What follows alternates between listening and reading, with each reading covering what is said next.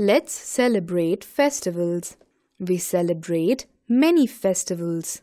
Festivals are special days. We enjoy and have fun on these days. We celebrate Diwali. It is a festival of lights.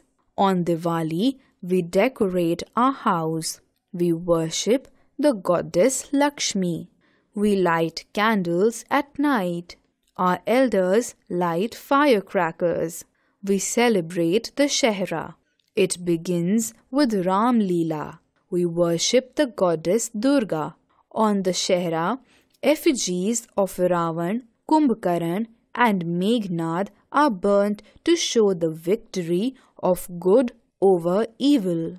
We celebrate Christmas every year on 25th December. It is the birthday of Jesus Christ. We pray in church.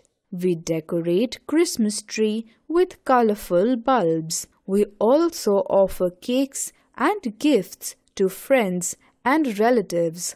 We celebrate Eid with joy. We wear new clothes on this day.